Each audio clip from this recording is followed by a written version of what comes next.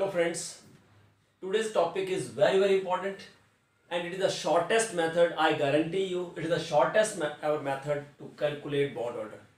And to calculate bond order, you have to remember only these electronic configurations, boron, carbon, nitrogen, oxygen and fluorine. And keep in mind, I am talking about only p block elements. For p block elements, the rule is first you have to count p electrons. Count total p electrons. After counting total p electrons first six first six are in bonding molecular orbital. And remaining if any electron left after 6 remaining electrons are in anti-bonding molecular orbitals. Denoted by Na and it is by Nb bond order is equal to number of bonding electrons minus anti-bonding divided by 2 and what is bond order? The bonds between two atoms. For example if we talk about nitrogen n2 in n2 what is the bond order? 3 number of bonds between two atoms. So let let's take an example. If we have b2 in b2 how many p electrons are there in one b there are there is one p electron. So in b2 there are two p electrons. So first six should be in bonding. That means bond order is equal to bonding electron 2 because first six are in bonding. So only two electrons are there. So 2 minus 0 means bond order comes out to be 1 rules are written here along with electronic configurations. Now let's take an example O2. Now in O2 total number of p electrons. O has 4 p electrons in O2 total p electrons are 8 because we in O2 there are two oxygen atoms. So one oxygen has 4 p electrons. So in O2 there are 8 p electrons we have calculated p electrons. Now first 6 are in bonding. So how many left for anti-bonding? Out of 8 6 are in bonding molecular orbital. So 2 left for anti-bonding. So what is bond order now? 6 bonding. Minus 2 anti-bonding divided by 2 so it comes out to be 2 6 minus 2 4 by 2 now O2 positive. Tell me in O2 positive total electrons total 8 and plus means 1 is removed.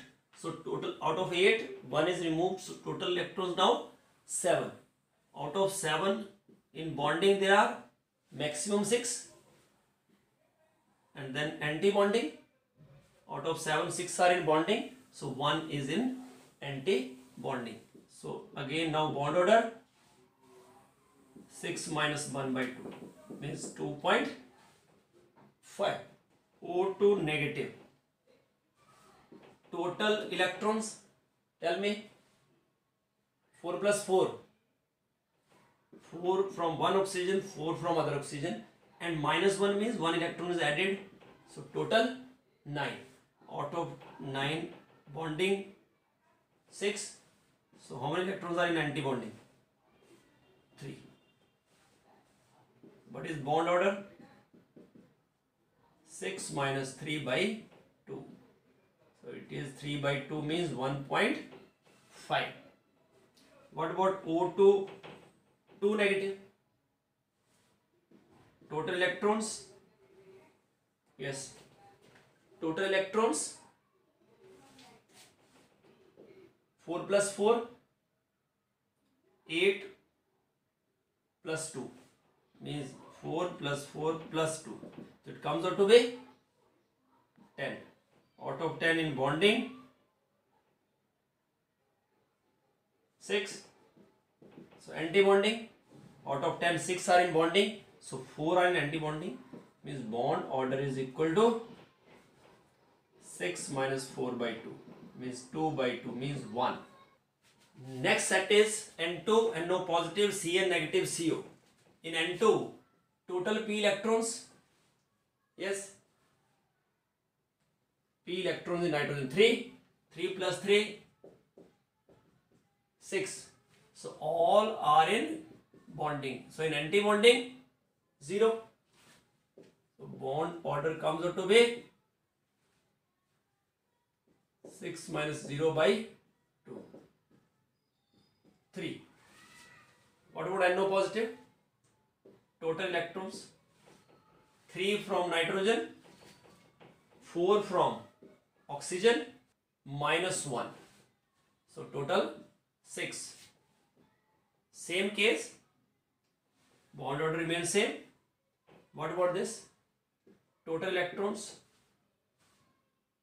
carbon 2 nitrogen 3 minus 1 means add 1 6 again total 6